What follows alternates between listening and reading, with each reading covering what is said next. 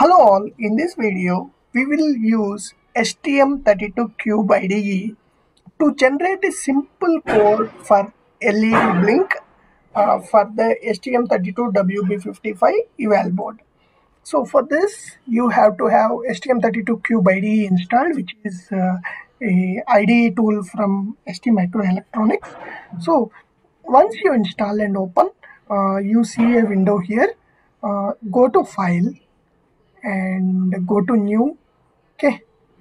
And then stm32 project. Click on so it tries to bring out all the stm32 related uh, um, parts. So here search for stm32wb55 okay?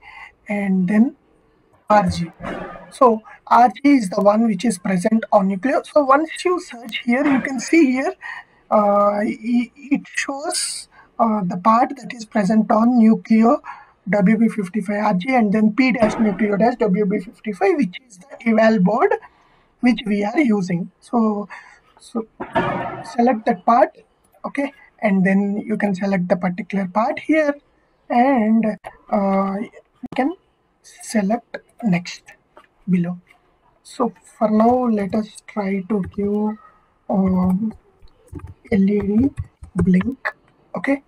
And uh, let us give it as 0 1 for a clear identification. And then next and finish okay? So once it does it opens the uh, IO configuration file in a GUI um, we can see uh, it's trying to create the project and it tries to open the GUI so you can see this is the GUI with STM32 WB55 RGV6 okay now the LEDs in the schematic. So if you want to see the schematic go to the schematic of MD55 in the in the schematic we have um, LEDs connected to PB1 PB0 and PB5 okay? So on the board also we have three LEDs uh, which are towards the uh, connectors. And we have shown this in the introduction video of this board in another video. You can have a look. So we'll use pb5 here. Okay? Let us go back. And you can see here this is the pin configurator. You have pb5 click on it and try to uh, select the configuration required. For now we want a GPIO output because it is an led you can see here it got selected. Okay? So GPIO output is selected here. And once that is done um, you can click on um, clock configuration and see what are what is the clock that is selected here. So for the core the clock is selected as uh, 4 megahertz. So you can see there are two cores as we have talked in the previous video. One is cpu 2 and the other one is cpu 1 um, so which is uh, given uh, a 4 megahertz clock here. Okay? So um, this configuration can be changed as per your requirement and this is derived from um, the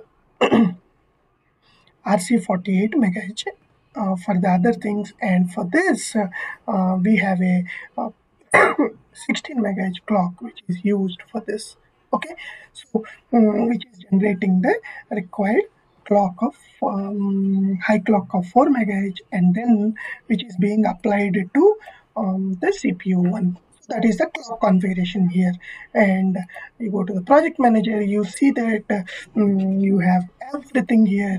And uh, go to tools um, and you can also see uh, the different parameters here. So you can ignore uh, um, this uh, particular um, configurations because we are only talking about the led flash here.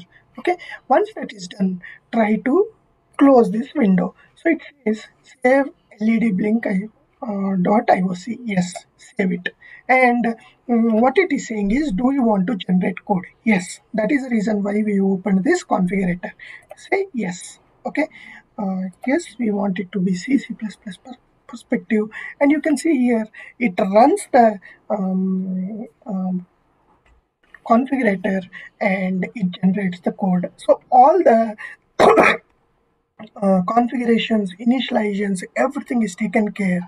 And if you go to um, initialization um, in this function, you can see that uh, the GPIO pin uh, is being reset and this is being uh, configured as output okay um, with push pull mode and the speed you can see here is configured uh, as low speed so even those configurations can be changed as per our requirement and um, the initialization is happening in this HAL GPIO INIT. So what the what is the kind of configuration, um, whether it be push pull or all these configurations are set here or whether it is GPIO, everything will be set in this uh, um, configuration. Now if we go back, so this is the uh, input. Now uh, we want to toggle the GPIO, right, to blink the LED. Okay, so copy this. Go to your uh, main function. Okay?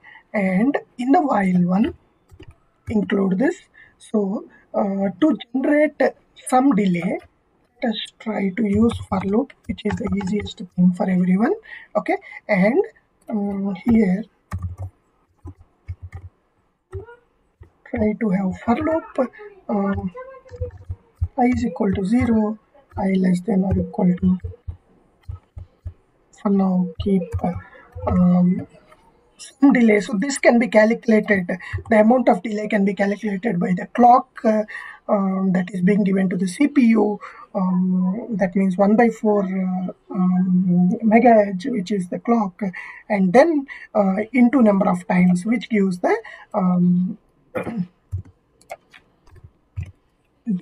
okay so and then this is for reset. If we go to the declaration you can see uh, for setting the enum is uh, um, set.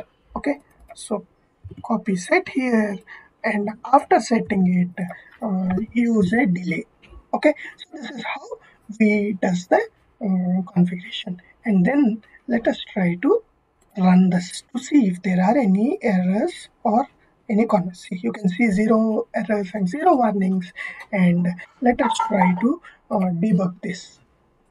Okay, um, select the default configuration and it starts the uh, debugger. Okay.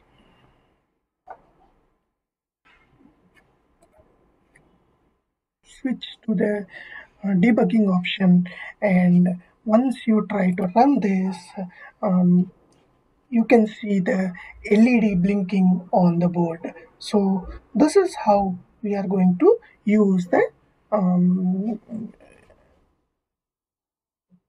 STM32Cube IDE to blink an LED. So you can use a uh, logic analyzer to see the amount of timing that is being generated. So that again depends on uh, the tool you have. So this is how we um, uh, blink an LED um, using uh, which is present on, on the STM32WB55 eval board. Um, the P-dash Nucleo WB55 um, and using STM32 uh, Cube IDE. Thank you.